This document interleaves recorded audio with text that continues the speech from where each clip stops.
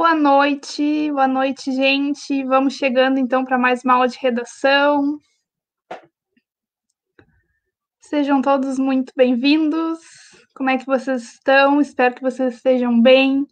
Sintam-se à vontade para comentar, para conversar aí pelo chat. Uh, vamos então manter como a gente tem feito, né, a nossa dinâmica então de que nós somos três professores, então um dos professores, né? Hoje o professor Bernardo vai ficar aí responsável pelo Facebook, então ele vai ficar responsável por conversar com vocês no chat, por anotar as perguntas de vocês. E a Mirella também está nos bastidores, professora Mirella, uh, passando os slides para mim. Então, qualquer coisa que vocês precisarem, nós estamos os três aqui, tá, gente? Então, hoje é a nossa quarta aula de redação, né? Nós tivemos a nossa primeira aula lá uh, foi comigo, né? Nós falamos de pontos bem, bem básicos, assim, da redação, onde é que a redação se encontra, onde é que está o tema da redação no Enem. Nós falamos sobre os fatores que zeram a nossa redação, né? Que é muito importante a gente já de cara saber o que, que a gente não pode fazer. Então, nós falamos coisas bem pontuais. Depois, na nossa segunda aula, né? Na aula com o professor Bernardo, nós falamos do, do, da estrutura desse texto. Como que esse texto dissertativo argumentativo é estruturado, né? Uh, Mirella, pode passar, por favor. Então, para quem está chegando agora, né, o que, que o professor Bernardo nos falou lá? Que o, nosso texto dissertativo argumentativo, então, tem quatro parágrafos. O primeiro parágrafo é o parágrafo de, parágrafo de introdução, o segundo é o desenvolvimento 1, ou também chamado de D1, né, para sintetizar, uh, desenvolvimento 2 e conclusão. E aí até trouxe aqui um, um, meme, não é que vocês gostam de meme, então vamos trabalhar com meme. Dica Enem, comece a redação com Oi meninas, tudo bom? Adorei o tema da redação, minhas seguidoras me pediram muito para falar disso, então vamos lá. Não, né, gente, é brincadeira. E depois, então, na semana passada, nós falamos com a professora, nós vimos com a professora Mirella a questão do título, se eu devo usar título, se eu não devo usar título. Uh, falamos de introdução também, né? Várias, a gente viu várias formas que a gente pode começar um texto. Nós podemos começar comparando, uh, comparando questões, nós podemos começar com um fato histórico. Então, tem várias formas de começar um texto. E hoje, comigo, então, a gente vai falar sobre desenvolvimento. Pode passar, por favor. Então, hoje a gente vai falar dessa parte super importante da redação. Na verdade, para o pro professor, todas as partes são importantes, né? Eu sempre falo, quando eu estou falando de introdução, eu falo que a introdução é super importante. Quando eu estou falando de desenvolvimento, eu falo que o desenvolvimento é super importante, assim como quando eu estou falando de conclusão. Então, na verdade, todos os, todas as partes né, do nosso texto são importantes. Mas o desenvolvimento, então, onde que eu vou desenvolver a minha ideia? Onde que eu vou desenvolver o tema? É no, são nos parágrafos, é no parágrafo 2 e 3 tá? Então, parágrafo 2 e 3 vai ser responsável por isso. Vai, Mirella. Trouxe aí mais um meme para vocês, né? Uma dica do Twitter. Quem é que aqui não gosta de umas dicas do Twitter, né? Eu, particularmente, uso muito o Twitter. E aí, olha isso. Dicas redação do Enem. Escolha dois argumentos. Comece o primeiro com o negócio é que. E quando for começar o, o segundo, escreva. E detalhe, detalhe.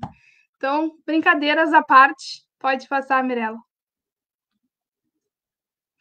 Qual é o objetivo dos nossos desenvolvimentos, né? Então, lá na introdução a gente tem o objetivo de introduzir o assunto, né? Como o próprio nome já fala, introdução. Então a gente vai introduzir o assunto, a gente fala, vai falar brevemente sobre o que que a gente vai abordar no nosso texto, qual é o problema social em questão. Mas nos desenvolvimentos, a gente tem assim o objetivo, a gente tem a função de o quê? Primeiramente, dissertar sobre aquele problema social, desenvolver e, sobretudo, assim, ó, principalmente, defender um ponto de vista, tá, gente? Então, como a gente também viu lá na primeira aula, uh, nós podemos ter um texto dissertativo, mas também podemos ter um texto dissertativo argumentativo. Aí é que está o ponto. O nosso texto do Enem é um, não é simplesmente um texto dissertativo que a gente vai dissertar sobre alguma coisa. Além de dissertar, a gente também vai argumentar. Tá? E o que, que a gente não pode fazer, então, nesses parágrafos de desenvolvimento? A gente não pode ser contraditório e incoerente, né? Então, por exemplo, lá no desenvolvimento 1 a gente fala uma coisa boa e no desenvolvimento 2 a gente fala uma coisa ruim, né? Ou a gente fala que é a favor e depois no final do texto a gente fala que é contra.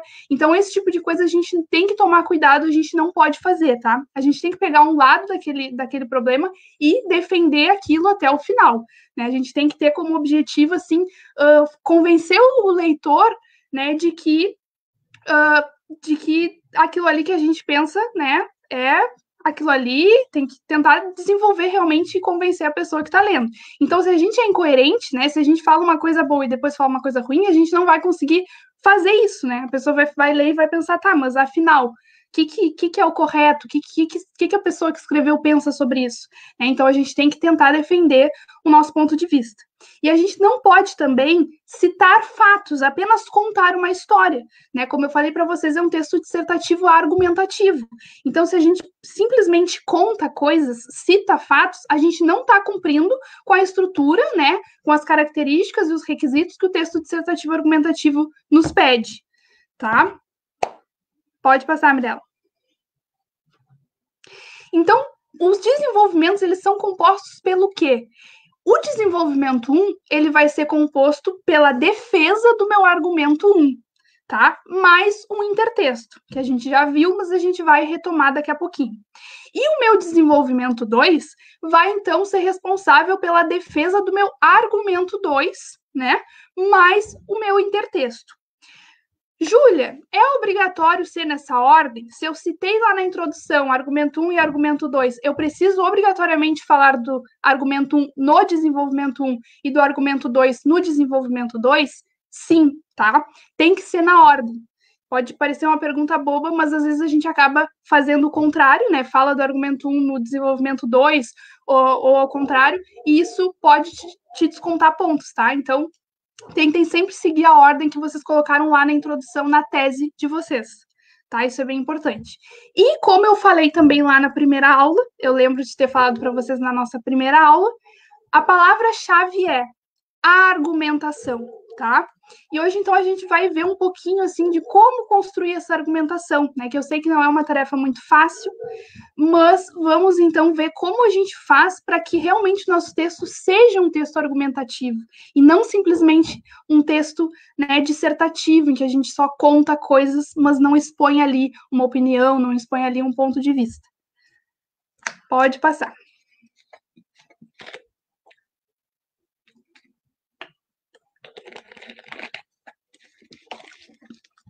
Se eu estiver falando rápido demais, gente, que às vezes eu me empolgo, falo rápido demais, vocês me avisem aqui no chat que eu vou mais devagar, tá? Então, mas como a gente constrói essa argumentação? Tá? Como é que eu faço um texto que de fato seja um texto argumentativo?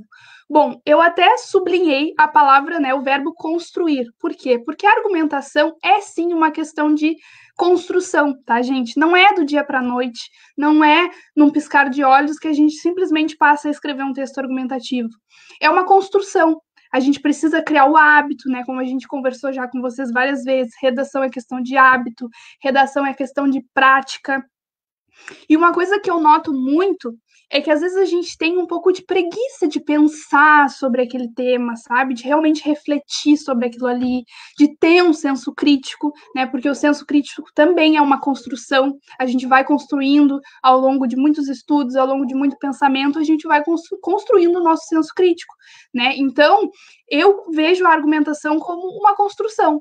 Então é interessante a gente ver por esse lado, né? Não vai ser do dia para a noite que a gente vai começar, vai escrever um texto completamente argumentativo, lindo, maravilhoso. Mas vai ser com o passar do tempo, vai ser com a prática, vai ser com essa construção realmente diária, semanal, enfim. Né? Não sei como é a rotina de vocês de estudos, mas é uma questão de prática, é uma questão de construção. Tá? E aí, antes da gente realmente pegar uma folha e escrever, eu considero muito importante que a gente pense, tá? Que a gente leia o texto, os textos motivadores e a gente pense, realmente bote a nossa cabecinha para funcionar, tá? Uh, antes da gente escrever, a gente precisa refletir, tá? Mas espera aí, o que que eu, fulana, o que que eu, Júlia, penso sobre esse problema social, tá? Porque muitas vezes a gente não vive esse problema, mas a gente tem que olhar com empatia para aquelas pessoas que vivem aquele problema, né? Uh, uma coisa que eu notei que aconteceu infelizmente aconteceu no ano passado, né, no tema que foi sobre a democratização do acesso ao cinema, que algumas pessoas comentaram em algumas redes sociais, ai, mas isso nem é um, nem é um problema, não sei o quê. Gente, isso só mostra a falta de empatia que a gente tem, porque se a gente não consegue enxergar como um problema, é porque a gente não vive esse problema. Porém, tem muita gente que vive né? Muita gente que vive isso, que não tem esse acesso, nunca teve, né? Então a gente precisa olhar para esses problemas com mais empatia, sabe? Pensar realmente, tá, eu não vivo, pode ser que eu não viva esse problema, mas e quem vive esse problema? Por, pelo que, que essa pessoa passa? O que, que isso gera na vida dela, né? Então, aqui eu tenho três pontos que são importantes da gente pensar antes da gente escrever, tá? Isso, esse slide vai trazer coisas que a gente tem que pensar antes da gente escrever tá, gente? Então, a primeira coisa que eu acho que a gente tem que pensar, isso aqui é uma dica para vocês, tá? Primeira coisa que a gente tem que pensar quando a gente pega um, aquele problema. A, a gente olha aquele problema, a gente tem que pensar qual é a raiz dele, tá? Por que, que ele existe na nossa sociedade? Da onde que ele veio? Né? Ele é um problema que hoje está uh, instaurado no nosso país, mas da onde que ele veio? Claro que vão ter muitos problemas sociais que vão ser de muitos anos, né? Que vai ser desde que o mundo é mundo, né? O preconceito, o machismo, problemas muito, muito enraizados assim na, na nossa sociedade, infelizmente existe de muitos e muitos e muitos anos. Mas é interessante a gente refletir, sabe? Por que, que esse problema existe na nossa sociedade? Um outro ponto, depois de pensar sobre isso, quando que ele se iniciou, por que, que ele se iniciou na nossa sociedade, a gente também tem que pensar como que ele se desenvolve. Ele tem uma raiz, mas ele também tem um desenvolvimento. Como que ele se desenvolve? Ou seja, o que, que dá força para que esse problema aconteça? Existe alguma coisa que dá força para que ele ainda seja um problema brasileiro. E acho interessante a gente pensar uh, que muitas vezes o nosso silêncio é um fator que dá força para esses problemas acontecerem.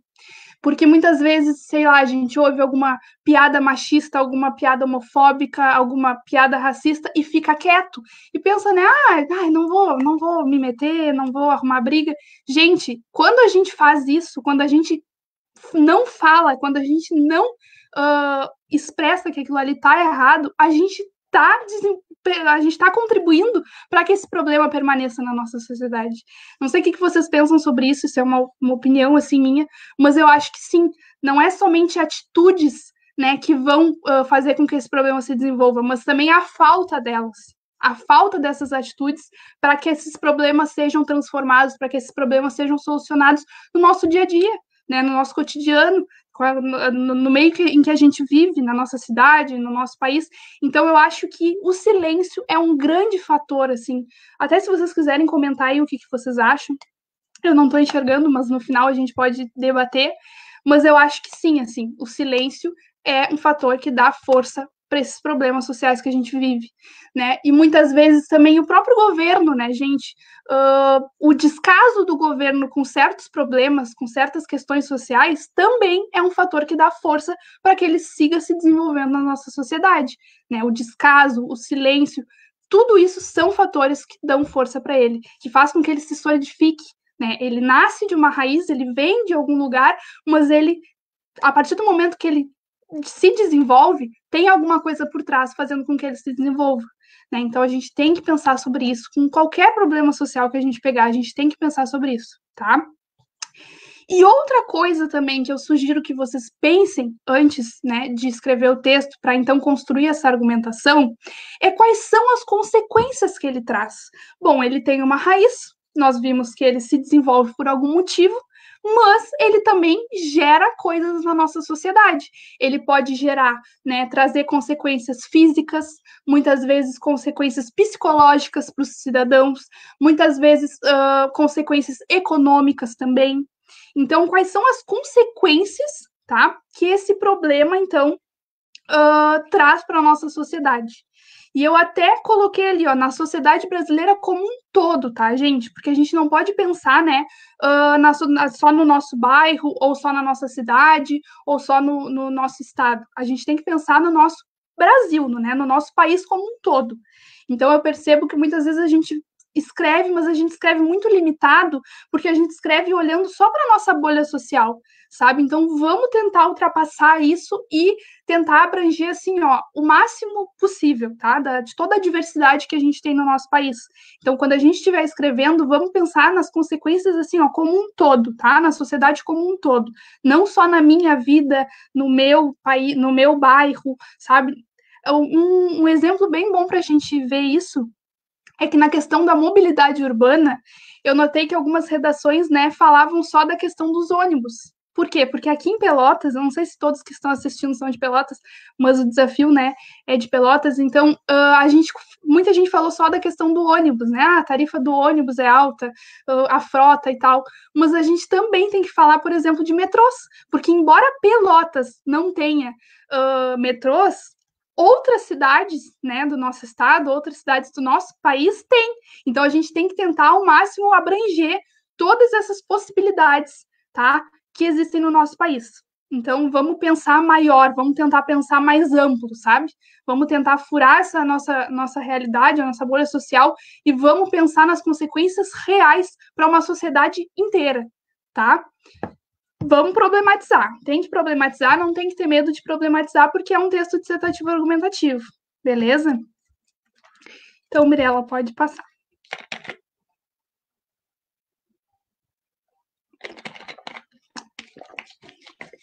Tomem água, hein? Uh, gente, então nós precisamos de dois argumentos, né? Nós sempre precisamos no nosso texto de dois argumentos que vão ser que, os que vão lá no desenvolvimento 1 um, no desenvolvimento 2 obrigatoriamente dois, tá? A gente não pode falar só sobre um argumento, nós temos que falar sobre dois. Então, eu trouxe aqui algumas possibilidades para vocês. Quando a gente vai criar o nosso argumento, a gente pode pensar em duas causas, por exemplo. A gente pode olhar para aquele problema e pensar, bom, quais são duas causas para que ele exista? E a gente pode fazer, então, a causa número um ser o nosso argumento número um, e a gente pode fazer, então, a causa 2 ser o nosso argumento número 2. Então, no meu desenvolvimento 1, um, se eu fizer um texto falando de causa, tá? No meu desenvolvimento 1, um, eu vou falar sobre uma causa desse problema, e no meu desenvolvimento 2, eu vou falar sobre uma sobre outra causa daquele problema, tá? Além disso, eu também posso fazer um texto só com consequências, né? Eu posso escrever um texto falando quais são as consequências desse problema na sociedade. Então, a minha consequência número um vai ser considerada o meu argumento número um, e a minha consequência número dois vai ser considerada o meu argumento número dois. Então, a consequência número um vai estar tá lá no D1 e a consequência número dois vai estar tá lá no desenvolvimento 2, tá? Lembrando que quando a gente fala D1, a gente está falando de desenvolvimento 1, e quando a gente fala D2, a gente está falando de desenvolvimento 2. Beleza, gente? Pode passar. Então, né, a Xuxa querida aqui diz, é, diz assim, ó, eu quando comecei a escrever a redação, a Xuxa, deixa acontecer naturalmente. Gente, eu sou péssima cantora, tá? Ignore. Aí a gente vai lá pro desenvolvimento, não tá acontecendo nada. Então, vamos praticar para a gente mudar isso aí, para a gente conseguir fazer com que o nosso texto flua, tá? Além de falar, né, de causas e de consequências, a gente também pode fazer um texto que fale exatamente das duas coisas, que fale tanto das causas quanto das consequências. É um texto bem interessante de se fazer. E aí, como é que a gente faz esse texto, então? O meu desenvolvimento 1 vai estar tá falando da causa, ou vai estar tá falando das causas, e o meu desenvolvimento 2 vai estar tá falando da consequência ou das consequências, tá, gente? É um texto, é um, é um tipo de texto bem interessante de ser feito, né? Que a gente consegue abordar bastante coisa. A gente consegue abordar tanto uh, por que, que aquele problema existe, né? Da onde que ele vem, qual é a origem dele, mas a gente também pode estar tá abordando o que, que ele gera na nossa sociedade. E mais uma vez, eu friso, né, gente, que a gente não pode ser incoerente, que a gente não pode falar bem e daqui a pouco falar mal, ou falar mal e daqui a pouco falar bem, né? A gente tem que seguir uma linha de raciocínio e defender aquilo ali, tá? Porque, por exemplo, tem alguns textos que o pessoal coloca assim, ó, no desenvolvimento 1, coloca uh, uma coisa boa e no desenvolvimento 2 coloca uma coisa ruim, ou coloca um pró e um contra no, no D2. Gente, isso pode até zerar a redação, tá? A gente não pode usar o D1 para falar uh, a favor e o D2 para falar contra, né, ou vice-versa. A gente não pode ser incoerente, tá? Isso vai ser avaliado lá na competência número 4 que fala da coesão, da coerência, né? Uso de conectivos também. Então, a gente tem que tomar esse cuidado, tá? Se tu vai. Existem algumas questões que a gente até pode pensar em dois lados, né? Que a gente até pode pensar no pró e no contra. Mas a gente tem que escolher, tá? A gente tem que escolher qual lado que a gente quer realmente falar, tá, gente? Uma coisa que até me surgiu agora aqui, né? Pensando. Gente, vamos, isso, vamos falar realmente o que a gente pensa, sabe? Vamos tentar ter assim o nosso senso crítico, ter a nossa opinião. Isso é muito importante, não só para escrever uma redação, mas para a nossa vida, né, em geral. Uh, não simplesmente sair colocando o que a gente vê na internet, o que a gente vê nas mídias, ou sair, sair colocando aquilo que a gente, ah, sempre ouvi, ah, eu sempre ouvi isso, eu acho isso. Não, vamos parar e pensar. Eu realmente acho isso. Eu desafio vocês assim, a partir de agora, quando vocês forem escrever a redação de vocês, pensem, tá, mas isso que me veio na cabeça é uma coisa que eu ouvi a minha vida inteira e aí eu acho que é isso, ou eu realmente posso questionar aquilo ali, posso criticar aquilo ali, e para então surgir aquilo que vem de nós, assim, sabe? Aquilo que eu realmente penso, a minha própria opinião. Tá? Isso é muito importante. Não saiam apenas reproduzindo o que vocês veem ou que vocês leem na internet, sabe? Sejam originais, sejam. Uh, pensem, sabe? Isso, isso tudo vai partir do pensamento. Né? Isso tudo vai partir de realmente refletir, de realmente fazer aquela redação uh, com tempo, né? Pensar sobre aquilo ali. Claro que depois a gente vai ter que reduzir esse tempo, né, gente? A gente vai ter que tentar fazer ali a redação em uma hora, uma hora e meia. Mas tentem pensar, fazer esse exercício de pensar antes de escrever. Isso é muito importante, é sério, isso é muito importante para a vida. Isso aqui é dica da Profiju para a vida de vocês critiquem, pensem, desenvolvam um senso crítico, muito mais do que para uma redação, muito mais do que para um concurso, tá? Mas para realmente vocês terem um posicionamento, para vocês realmente saberem o que, que vocês pensam, tá? Porque muitas vezes já aconteceu até comigo, assim, né? De eu pegar algum texto para escrever e parar e pensar, tá, mas o que, que eu penso sobre isso? Sabe? Eu ouço falar tanto sobre isso, eu tô lendo aqui a coletânea sobre isso, mas o que, que a Júlia acha disso?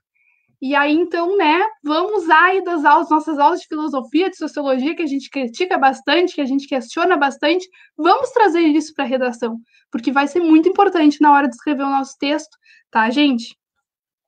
Pode passar, Mirella, eu já ia passar, bem louca. E aí, lem vamos lembrar que tem duas coisinhas que precisam fazer parte do nosso desenvolvimento, tá? A primeira delas é a intertextualidade. Vocês lembram o que é a intertextualidade? A intertextualidade é quando a gente usa né, um texto já existente, então alguma, alguma, algum conteúdo que a gente viu, sei lá, lá em biologia, algum conteúdo que a gente viu em filosofia, né, até citei alguns exemplos ali, ó, séries a gente pode usar, filmes, novelas, então a gente pega essas, esses textos já existentes e agrega ao nosso, a nossa redação, ao nosso texto. Né? E isso enriquece muito uh, o nosso desenvolvimento, principalmente. Então, alguma série que tu viu, que tu, que tu percebeu algum problema social, alguma novela, né? Muitas vezes as novelas trazem problemas sociais também que a gente pode citar no nosso texto reportagens, pesquisas, estudos, citações filosóficas, livros que vocês já tenham lido, né, que vocês percebam alguma questão social. A gente pode usar documentos, né, como a Declaração dos Direitos Humanos, a Constituição. Então, isso tudo vai agregar, uh, vai enriquecer o nosso texto. Tá? E aí eu dou essa dica. Se vocês têm, por exemplo, só dois intertextos, tentem usar nos desenvolvimentos de vocês né, gente? Porque a gente tem ali um desenvolvimento inteiro para defender a nossa ideia. Então, se a gente agrega um intertexto, se a gente agrega alguma coisa de fora, a gente vai conseguindo fazer essa ligação e deixar o nosso desenvolvimento bem bonito, bem rico, né, bem top. Uh, e outra coisa também é que isso não é uma opção. Na verdade, a, a utilização de intertexto ela é avaliada tá? Lá na competência número 2. Então, só para a gente relembrar lá da primeira aula, nós temos cinco competências, tá? Então, o nosso texto ele é corrigido a partir de cinco competências, cinco critérios. Nós temos, primeiramente, a questão da ortografia, a questão da concordância, da estrutura do texto, né? Se a gente. Uh, uh, usou uma linguagem formal. Isso tudo é avaliado na competência número um. É basicamente a gramática, tá?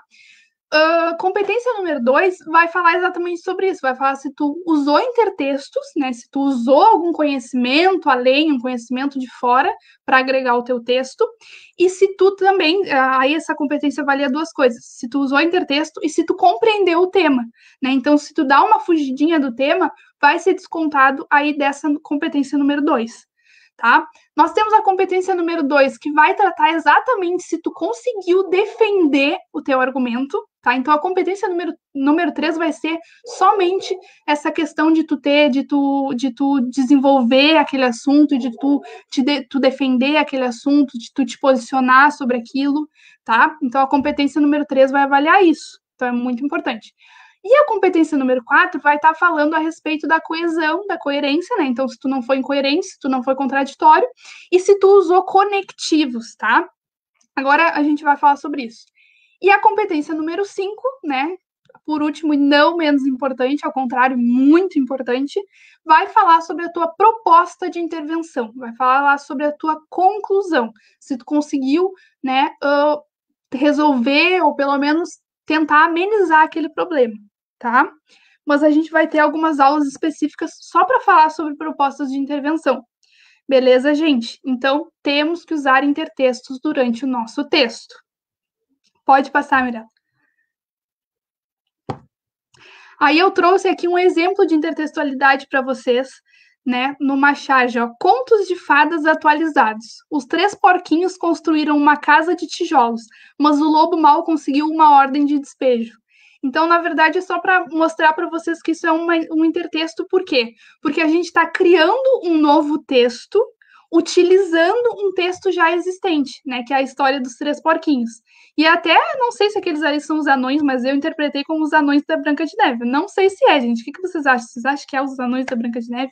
Eu acho que é, mas pode não ser também. Mas enfim, só para mostrar para vocês, né, que isso é um intertexto, porque ele está utilizando de um texto já existente, né, de uma história que já existe, para criar um, um novo texto, né, que é essa essa imagem. Tá, gente? Isso é intertextualidade. Então, a gente pode usar intertextualidade em vários, vários textos, né? Vários gêneros textuais, mas no texto dissertativo argumentativo também. Pode passar, Mirella.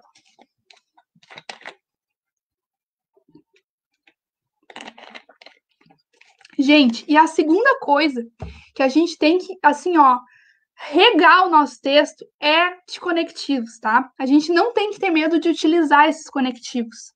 Por quê? Porque eles têm a função de articular as ideias. Ao invés da gente falar as coisas, falar tal e tal coisa, ponto, tal e tal coisa, ponto, a gente pega e une essas ideias com uh, um conectivo ou também conector, né? Alguns professores, algumas pessoas falam conectores.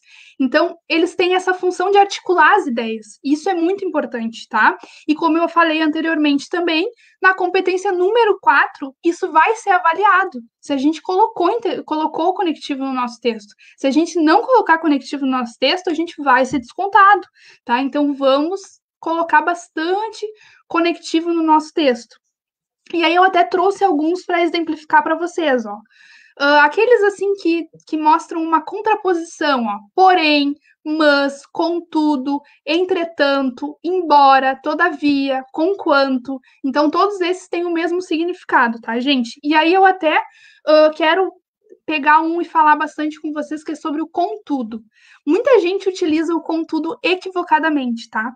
Muita gente, eu já, já vi muitas pessoas falando que o contudo é uh, contudo que eu já disse anteriormente, quando na verdade não, tá? O contudo, ele tem sentido de negação, ele tem, tem esse sentido, o mesmo sentido do porém, o mesmo sentido do mas, tá? Então, cuidado para não cometerem esse equívoco de usar o contudo como uh, essa coisa de mais de uma conclusão, né? Não, o contudo é de contraposição. Nós temos também aqueles conectivos que são de soma, né? Que eles somam as ideias. Então, nós temos o ademais, outro sim, além disso, somado a isso, também. Isso tudo, então, liga as ideias, soma né, uma ideia à outra. Nós temos também os de conclusão, que geralmente a gente vai usar lá na nossa conclusão realmente do texto. Logo, portanto, por conseguinte, desse modo, dessa maneira, assim. Então, isso tudo são conectivos de conclusão. Nós temos os de finalidade, né? aqueles que têm um propósito. Então, para que tal coisa? A fim de tal coisa? Uh, para, com o fito de, com o intuito de, com o propósito de. Isso também são conectivos tá? de finalidade. E temos também, temos vários, tá? Mas eu trouxe aqui alguns que eu vejo que podem ser bem utilizados nas nossas redações. E nós temos também ali, ó, de conformidade. Quando a gente quer, por exemplo, citar, eu quero citar um, um filósofo, eu quero citar uh, uma, uma música de tal cantor. O que, que eu uso? Eu uso segundo fulano de tal, conforme o livro tal, consoante a tal coisa, de acordo com. Então, isso tudo são conectivos, tá? E a gente tem que usar bastante no nosso texto. Beleza, gente? Vamos, então, a partir de agora, prestar atenção nisso. Se a gente está co conseguindo colocar conectivos, né, ou conectores no nosso texto, porque isso vai ser avaliado. Pode passar, Mirella. E agora, a gente vai falar de uma coisa assim que é bem, bem, bem importante, tá? Vocês sabem diferenciar o que, que é um fato e o que, que é um argumento? Porque muitas, muitas, muitas vezes a gente acaba escrevendo um texto só cheio de fatos e com pouco argumento. E como eu já falei, né, várias vezes e volto a falar, que o texto do Enem é um texto dissertativo argumentativo, logo a gente precisa colocar o quê? Argumento. A gente precisa colocar muito, muita argumentação, tá? Então, hoje a gente vai começar a falar um pouquinho, né? Uh, claro que isso é um assunto de se falar em várias aulas, da gente retomar e tudo mais, mas hoje a gente já vai começar a falar um pouquinho sobre essa diferença, tá? Existente entre o fato e o argumento. Pode passar, Mirel. O fato, então, é aquilo que não pode ser contestado. Ele é aquela coisa óbvia, né, que a gente lê ou que a gente ouve e a gente pensa, tá, é verdade. Então, vou dar um exemplo idiota aqui para vocês, tá? Mas se eu disser assim, a aula de redação é toda quarta-feira. Tá, isso é um fato, isso não é uma opinião, isso não é um ponto de vista, isso é um fato. Deu, acabou. Toda toda quarta-feira nós temos aula de redação aqui no desafio. Ponto. Isso é um fato, né? Isso é óbvio. Não tem quem possa dizer que não, não é verdade. É verdade, tá? Então, o fato, ele não é um ponto de vista. Ele é simplesmente um fato, ponto, acabou. Pode passar. O argumento, ele é o oposto a isso. O argumento, ele pode ser contestado. É aquilo que eu falo e uma outra pessoa pode virar para mim e dizer: olha, eu não concordo por causa disso, disso, disso. Então, ele é um ponto de vista, tá? Enquanto o fato, ele não pode ser contestado e não é um ponto de vista, o argumento, ele é um ponto de vista. Ele pode ser contestado. Então, mas a gente vai ver exemplos, porque eu acho que com exemplo é muito mais fácil, né, gente? Uh, pode passar. Então, até acho que essa imagem tá bem, bem, uh, tá ilustrando bem o que eu quero falar né? Por quê? Porque do argumento podem surgir outras opiniões. E é assim que a gente começa um debate, né? Não tem como debater falando apenas fatos. A gente tem que debater expondo opiniões, expondo argumentos. Então, de um, de um argumento, a gente pode tirar outros pontos de vista. Então, quando a gente. Como é que a gente consegue ver, então, se aquilo que eu estou falando é um fato ou é um argumento? Bom, tu vai ler e tu vai pensar, né? Tu vai escrever, mas aí tu vai pensar: será que tem alguém que possa discordar de mim? Será que eu posso ser rebatido? Será que eu posso ser contestado? Se eu posso ser contestado, isso é um argumento. Tá? É aí que a gente começa, então, a construir um texto argumentativo. Quando a pessoa que lê aquele texto pode pensar: hum, não posso não concordar. Claro que posso também concordar, mas posso também não concordar. Tá, gente? É um pouquinho, talvez seja um pouquinho complicado de entender, mas vamos lá. Pode, pode passar, Mirella. O que, que eu fiz então? Eu retirei tá, do site do Ministério da Saúde uh, um, um, trechinho de um texto para mostrar para vocês o que, que é um exemplo de fato. Tá? Aqui a gente vai ler fatos. Então eu vou ler com vocês o textinho e depois eu vou comentar. Se o tema fosse, por exemplo, aumento das ISTs no Brasil, tá? Esse texto vai falar exatamente sobre isso, sobre as infecções, o aumento das infecções sexualmente transmissíveis no nosso país. Então o texto diz assim, ó: Pesquisas demonstram que o uso do preservativo vem caindo com o passar do tempo, principalmente entre o público jovem. De acordo com a Organização Mundial de Saúde, OMS, todos os dias ocorrem um milhão de novas infecções sexualmente transmissíveis. Abrir mão do uso do preservativo nas relações expõe a pessoa e os parceiros que ela se relaciona às ISTs, incluindo o HIV, que não tem cura. Homens e mulheres apresentam sina, uh, sinais e sintomas, era sinais ali, sinais e sintomas distintos para as diferentes ISTs, como é o caso do HPV e da gonorreia. E somente o diagnóstico pode assegurar se ocorreu infecção. Somente o tratamento pode levar à cura e somente a prevenção pode evitar que haja reinfecção. Bom, gente, isso são fatos, certo? São fatos, né? Que as pessoas não vêm usando preservativo, porque senão não haveria um aumento né, das ISTs. Uh, é um fato que o HIV, por exemplo, né, não tem cura. É um fato que as pessoas apresentam sintomas diferentes. Então, tudo que tem aqui nessa, nessa, nesse parágrafo, né, que foi retirado lá do, do, do site do Ministério da Saúde, é um fato. Então, a gente não pode usar essas informações como argumento tá, gente? Se a gente for citar isso, por exemplo, a gente tem que citar como intertexto, né? Dizer que pesquisas, por exemplo, pesquisas ali da Organização Mundial de Saúde falar, uh, mostraram que um milhão de, de novas infecções acontecem todos os dias e tal. A gente pode usar isso, mas não como argumento, porque isso é fato, isso é verdade, isso é óbvio, não é um ponto de vista, não é o meu ponto de vista que as ESTs estão aumentando. Isso é fato, ponto, acabou, tá? Então, essa é a questão. A gente tem que analisar se o que a gente está falando pode ser contestado ou não pode ser contestado. E aí, eu não sei se vocês estão mandando perguntas, mas só para lembrar que vocês podem perguntar, podem mandar questões, que no final a gente vai conversar, tá? Uh, e aí tem uma outra coisa importante também, tá? Nesse, nesse tópico. A fonte, tá? Da qual a gente tirou a informação, sempre tentar retirar as informações de uma fonte confiável, tá, gente? Por favor, vamos analisar se aquela fonte, se aquele site, né, se aquilo ali é realmente verdade. E uma outra coisa é a data daquela pesquisa, é a data daquele estudo, né? Vocês podem perceber, como diz ali no final do slide, esse texto foi publicado, né? Claro, é um texto grande, mas eu tirei só o primeiro, o primeiro parágrafo, Uh, acho que foi o primeiro parágrafo. Mas, enfim, eu retirei só um trecho né, desse texto que foi publicado no dia 8 de fevereiro de 2020. Então, é uma pesquisa recente, é um estudo recente, então a gente pode usar com tranquilidade.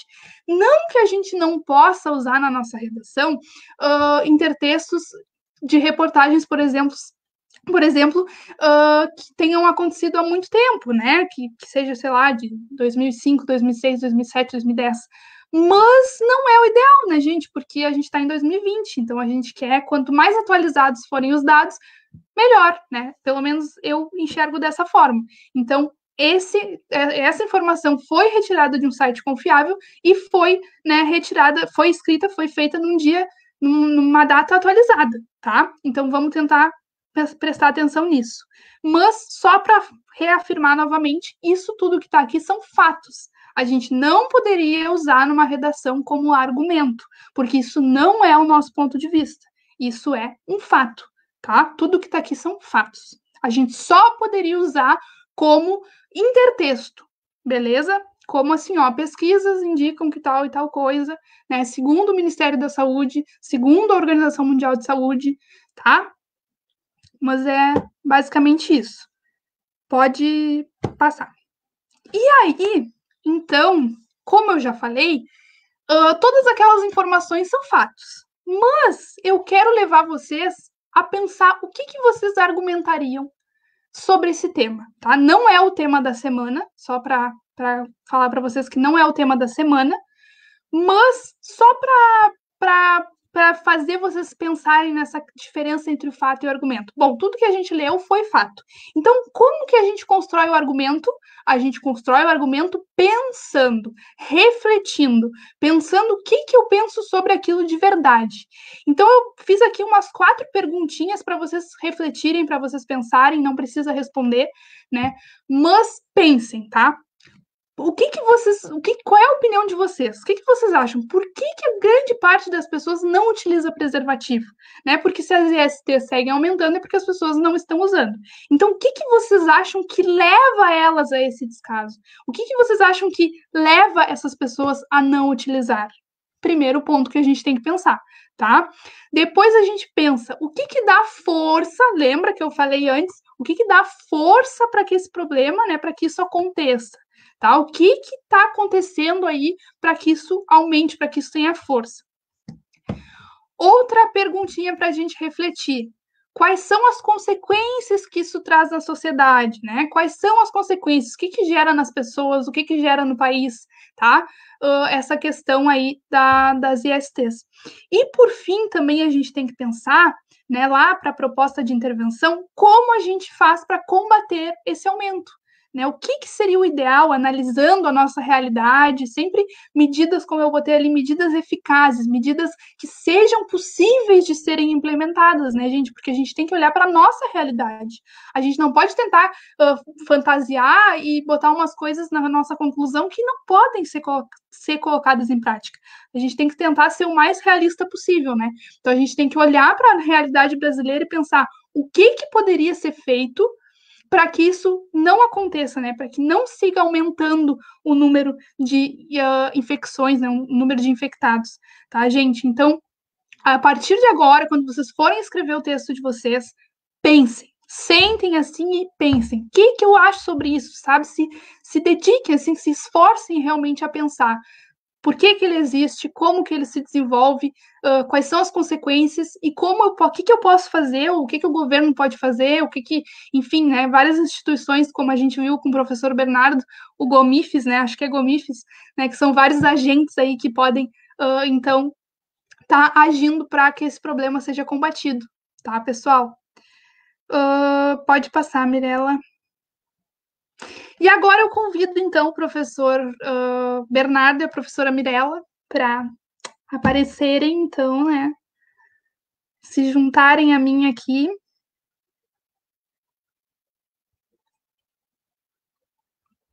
Mas eu já vou ir falando, tá? Para quem não assistiu a aula de semana passada, agora vocês não enviam mais a redação para os nossos e-mails pessoais vocês enviam a redação para esse e-mail que está aí na tela, redacaldesafio2020@gmail.com, tá? Então agora vocês mandam e aí para melhor administração, né, para nós três, nós três, nós professores conseguirmos então uh, corrigir todas direitinho. Então é melhor que vocês mandem para o nosso e-mail redacaldesafio2020@gmail.com. E nós temos uh, uma tarefa para essa semana. Primeiramente, eu gostaria de perguntar uma coisa para vocês, tá? Vocês preferem, e aí vocês não precisam responder agora. Que se quiserem responder agora, podem responder, mas se quiserem, podem mandar um e-mail para nós também, tá? Porque eu sei que alguns têm vergonha e tal de conversar aí no Facebook, mas vocês podem mandar um e-mail para a gente. Vocês preferem que a gente dê um tema para vocês toda semana, né? Que a gente uh, elabore um tema para a semana, ou vocês preferem vocês escreverem sobre alguma coisa que interesse vocês, vocês pesquisarem, vocês né, pesquisarem quais são aí os problemas que talvez poderiam vir na prova do Enem, né? E vocês uh, nos mandarem, escreverem e nos mandarem a coletânea que vocês pesquisaram. Então a gente quer saber aí de vocês, o que, que vocês preferem, que a gente elabore ou vocês que seja tema livre e que vocês mesmos elaborem, né, uh, sobre o que, que vocês querem falar.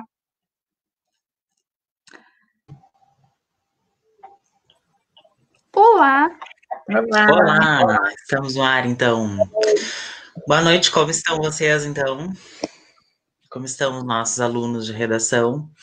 Uh, Enquanto a Júlia ia dando aula, eu fui anotando algumas perguntas. Hoje não mandaram muitas, mas foram três perguntas da Vitória, da Helena e do Thomas, que elas foram bem parecidas, né, sobre em questão da o conteúdo que elas estavam perguntando. Vou ler aqui para vocês, a da Vitória.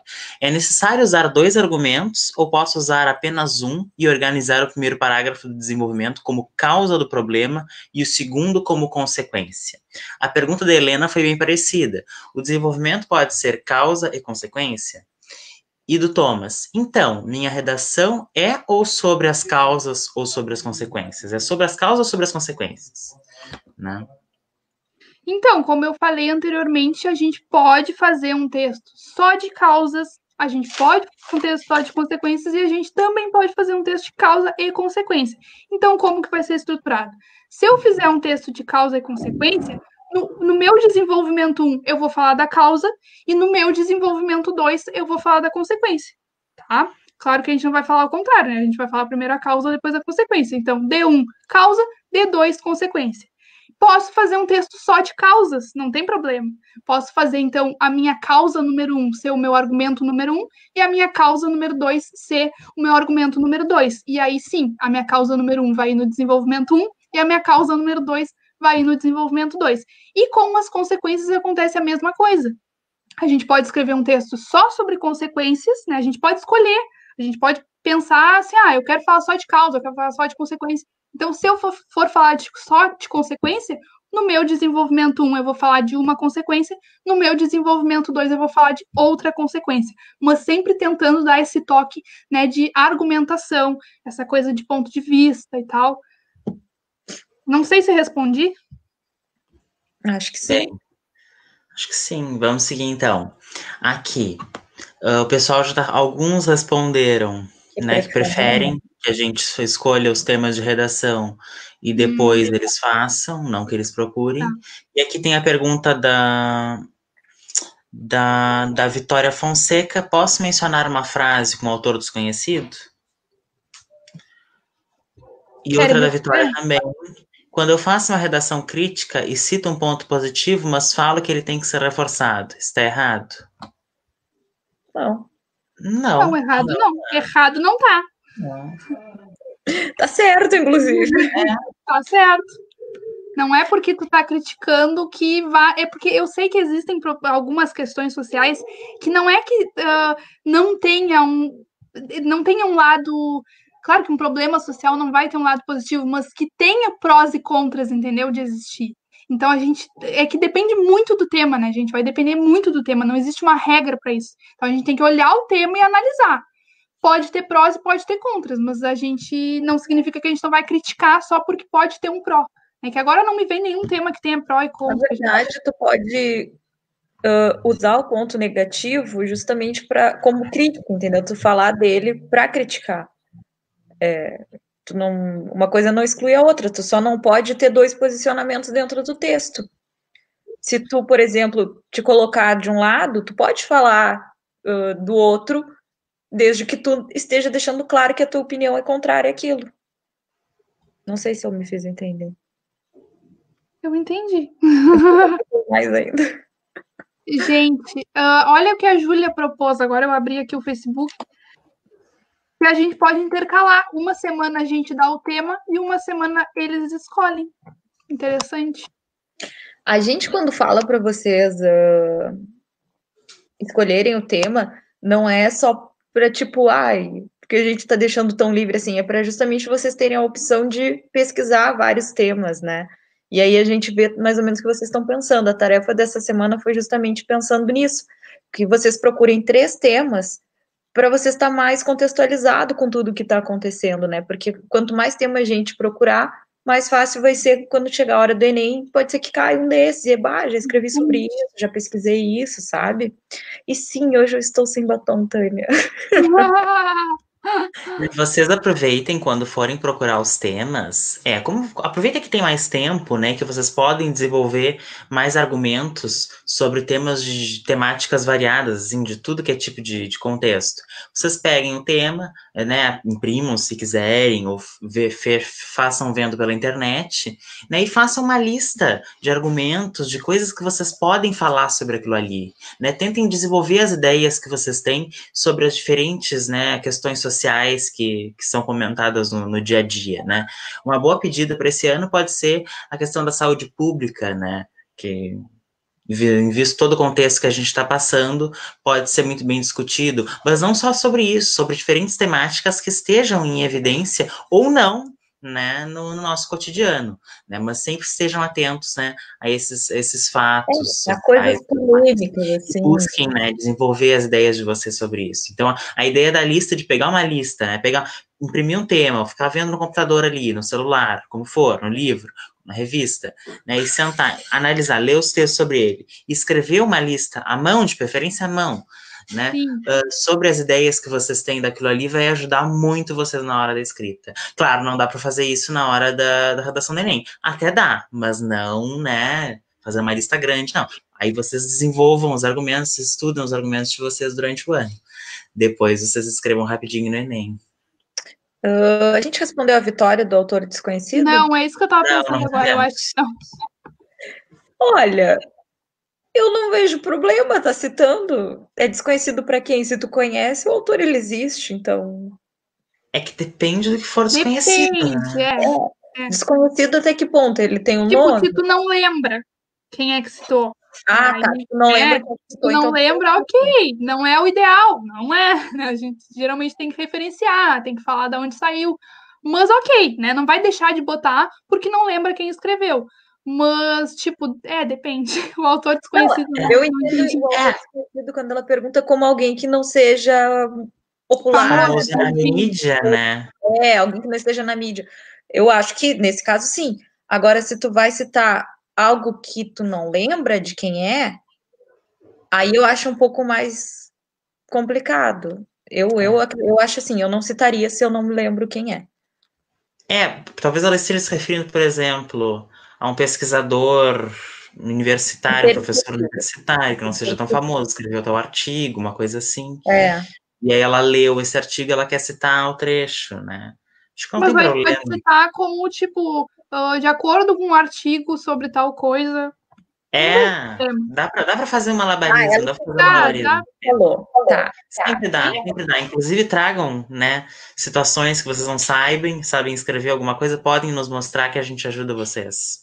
Sempre tem jeito. Ah, se vocês tiverem dúvida, vocês podem mandar, porque é. não estou ouvindo tanta redação. É. Gente, podem mandar redações, mas mandem dúvidas também, perguntas e tudo mais. Não se acanhem, mandem perguntas. Bastante. Muitas vezes, né, gente, a gente tem os intertextos, a gente tem uma, um conhecimento, mas a gente não sabe como encaixar na nossa redação. Então, se vocês tiverem, né, alguma dúvida sobre isso, ah, tem um intertexto que eu acho muito massa, onde que eu posso encaixar, em qual tema, em qual tipo de texto, assim, né? Qual redação, qual, qual problema social, podem nos mandar também que a gente ajuda vocês. Uhum. Eu, Vamos particularmente, quando eu estava quando eu estava no ensino médio, tinha um, um intertexto que eu queria encaixar em tudo, né? Claro que eu não, não encaixava em tudo, mas eu gostava tanto daquilo, eu achava tão massa, assim, tão legal, que eu queria encaixar, né, em tudo que era coisa. Eu tentava, né? É que cola. E realmente e depois eu consegui usar na minha redação né? Tem aqueles que servem para qualquer contexto. Vamos é. abordar isso em outras aulas. Eu vamos, achei muito legal a que recebemos essa semana. Temas diversos. Acho que ninguém repetiu o tema, né, de ninguém. Tipo, não. É, foi bem legal. Repetiu. A gente corrigiu algumas, né? Não deu tempo de corrigir todas. Ainda não. Eles começaram a chegar mais, mais é, para perto agora, da né? aula, né? Depois do final de semana que começou a chegar mais redações. Mas não tem problema, mandem quando vocês quiserem, quando vocês puderem, não se preocupe. Vamos é conversar gente... um pouquinho, eu tenho uma curiosidade, tenho uma pergunta para fazer. Tá com dificuldade para começar a redação. Ricardo, uh, eu falei sobre isso na última aula, né? Tá online. Eu acho que tá online. Foi? A aula da semana passada. Sim, foi tu, foi sobre introdução. É, porque aí ali eu falo várias dicas para que tu comece o texto de uma maneira mais tranquila, mais fácil, né? Tem uma lista, inclusive está lá no Drive, que a gente até postou o link, uh, tá na nossa pasta da redação, e isso pode te ajudar um pouco. Mas se tu não estiver conseguindo começar, se essa ideia não vem clara, escreve do jeito que veio a ideia. Pode, bota de qualquer jeito ali no papel. Aí vai fazendo. Aí depois tu volta e corrige. Porque quando tu dá o pontapé inicial, tu, depois tu, tu arruma, sabe? Sim, muitas vezes, né? A gente não sabe como começar, mas depois que começa, vai. Então tem que, tem que começar, por algum lugar tem que começar, né? Uhum. Intertexto é ótimo para isso. A gente já relacionar a temática da redação, o tema proposto, com o intertexto é um ótimo começo. Um ótimo começo. Inclusive, bem, né? Por exemplo, como disse tal filósofo, e aí relaciona isso com a, o tema da proposta de redação. É um bom começo. Hum. E ali já vai, já consegue tirar bem os seus argumentos. Mas... A Vitória falou que, que é quando ela esquece mesmo, por ter esquecido o nome de quem falou. Acontece, né? Vou contar para vocês uma coisa pessoal de quando, quando eu escrevi a minha redação no terceiro ano do ensino médio. Eu coloquei um intertexto falando que tinha sido Augusto Cury que tinha falado. Mas eu estava muito ciente de que tinha sido Augusto Cury. Eu estava muito ciente. Eu escrevi assim de Augusto Cury, nananana. Quando eu cheguei em casa, eu comentei com alguém que eu não me lembro quem, e a pessoa disse: Não, Júlia, não foi Augusto falei... Mas acontece, né? Fazer o quê? Na minha cabeça tinha sido Augusto Cury. Mas fazer o quê, né? O que importa é que. Olha, se o corretor não se der conta, né? Aí vai depender do né? Tem quem não saber tudo com né? referência. Ah, é, não tem como. E a só de ter usado, né? Já é alguma ele não vai ficar pesquisando até. A coisa da redação, se eu não me engano, a pessoa fica numa sala fechada, né? Sim, e cada corretor tem quatro minutos ou cinco minutos para corrigir cada redação, uma coisa absurda, assim. Meu é, Deus! É bem. Gente, Tipo, sim. eles não vão ter acesso ao computador para pesquisar de quem é aquela redação de claro verdade. Que sim. Quem falou aquilo. É, a não ser que for muito evidente, né? Pegar uma frase muito ah, famosa sim, sim. É, e, aí, botar como se fosse outra, né, errado. Aí, aí sim, aí... que a, acho que foi a Juliane que mandou que ela usou aquela ninguém nasce mulher, torna-se. Essa é uma frase muito clássica, então todo mundo sabe quem, quem falou, né? Essa, essa frase não tem como tu te enganar. Mas algumas coisas que são mais assim. É, até teve, até teve Enem é baseado né, nessa frase, com, com, essa frase estando nos textos é. né? Gente, aquela hora eu falei que eu ia fazer uma pergunta só de curiosidade. Eu sou uma pessoa muito curiosa, eu quero conversar com vocês, vamos conversar. Vocês têm um dia que vocês dedicam especialmente para redação ou vocês escrevem assim, ah, agora eu tô com vontade de escrever redação? Nos respondam aí. Se vocês têm um dia assim, ah, na sexta-feira eu vou sentar para escrever redação. Porque eu notei que eles mandam depois do final de semana, realmente. É. Eles têm mandado lá por terça, quarta. Então é só uma pergunta de curiosidade mesmo. Quero conversar. Eu tenho uma teoria que é assim, que a pessoa tem aula na quarta, né? A redação ela é na quarta. Então, ela vai ter que mandar antes da próxima quarta. E o dia é. que tá chegando perto é no final de semana. Aí eu acho que eles vão lá e fazem para mandar antes. eu faria isso. É, que nem trabalho da gente, né? Pra faculdade, é. pro colégio. Ah, não julgamos, tá, gente? Tipo assim. É. Não tem problema nenhum. Nós somos as últimas pessoas a julgar vocês. Quando vocês entrarem na faculdade, vocês vão ver. Ah, então tá, né? Eles não estão conversando com nós. Não querem papo comigo. Olha ah, ah, se estão tímidos hoje, não tem problema.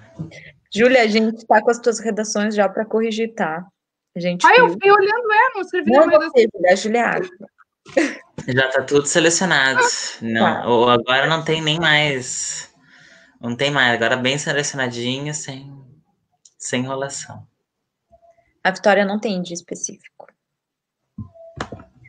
Ai, pra mim não tá atualizando, peraí. deixa eu- Então, eu não entendo se o... a gente chega atrasado lá no Facebook. Sim, então, ah, tem isso também, acho que chega. É, tem delay, tem delay. A gente chega, a gente chega bem de... a nossa, o que a gente fala aqui é depois. Chega A Tânia depois. falou que faz no domingo, desde o início. É. É, porque depende muito de como a pessoa gosta de estudar, né? Tem gente que gosta de ter um dia certo para cada matéria, tem gente que não. Mas era só por Mas o legal é vocês, o legal é vocês controlarem o tempo, né? Sim. Porque no Enem vocês vão ter um tempo mínimo, um tempo máximo, né? Escrever a redação em- entre uma hora e uma hora e meia, mais ou menos, Hum. né? É, entre, entre escrever o rascunho e depois passar ela limpo. Façam muito isso. Escrevam a redação e depois passem ela limpo. Né? Escrevam, por exemplo, a lápis, vocês têm lápis em casa, e depois façam ela caneta, antes de mandar para nós. Para ver como é que vai ser no Enem mesmo, porque no Enem vocês têm o rascunho e depois tem a, a, a, a folha oficial mesmo que vocês botam a redação de vocês. Então, Uhum. só lembrando, né, gente, vamos procurar essa semana no mínimo três temas que vocês tenham interesse, que vocês tenham, sei lá, ah, eu tenho um intertexto para tal tema, vou fazer a redação para vocês mesmos se sentirem motivados, assim, saber Ah. escrever coisas que vocês gostam, coisas que vocês têm, tenham interesse. Vocês gostem de falar sobre aquilo ali, porque geralmente tem algum problema social, alguma coisa que a gente gosta de falar, de militar mesmo, né? Então vamos ah, procurar ah, pelo menos três temas que vocês tenham interesse em falar, tá? E aí escolham aí para um para fazer a redação dessa semana. E aí, quem sabe, na próxima semana a gente traz, então, um tema também, ou alguns temas para eles Uhum. optarem, quem sabe. Mas a gente vai esperar a resposta de vocês também, ah, aos que não quiseram responder aqui, podem responder lá no, por e-mail, tá? Ah, eu vi aqui que o Ricardo é a mãe, que é o é Lara É ou a Yara? Yara. Sim, sim, Yara, a Yara. Então, mas não, não fique nervosa. Não existe errado, não tem como ser tão errado assim. Faça o texto e manda pra gente. É, não tem errado, porque é um texto de opinião, né? Então não, é- não tem o certo e o errado. É. Tem, tem que começar, tem que tentar começar, pelo menos, né? A escrever. Um E as momento, aulas, elas estão disponíveis, então vocês podem procurar. Para ter também a visão desde o início do que a gente vem falando. Bom, já deu nosso horário. Já. é bem, Gente, gente, muito obrigada noite. pela presença. Tchau, tchau. Boa noite. Até semana a todos. Semana que vem a aulinha com o prof. Bernardo, então. Lá. Até semana que vem, beijo. gente. Tchau, Tchau, tchau. gente. Boa noite. Se cuidem Tchau, bem. gente. Se cuidem, tomem água. Não tomem cloroquina.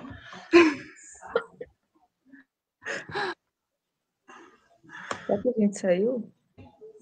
Eu não. Acho que sai. O que a gente faz? Tira o microfone. Lucas, você saiu? É.